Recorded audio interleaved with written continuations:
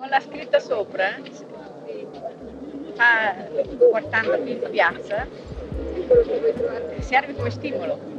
E ognuno deve tirare fuori per un dialogo, per un, dialogo, per una cosa che può, può trovare in questo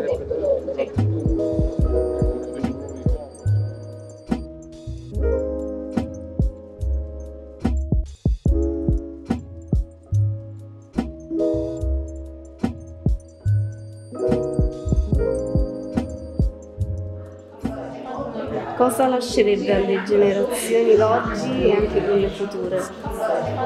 Cercare l'invisibile, dentro, in ogni cosa, in ogni cosa, perché siamo tutti quanti molecole vibranti, nient'altro, ognuno a modo suo.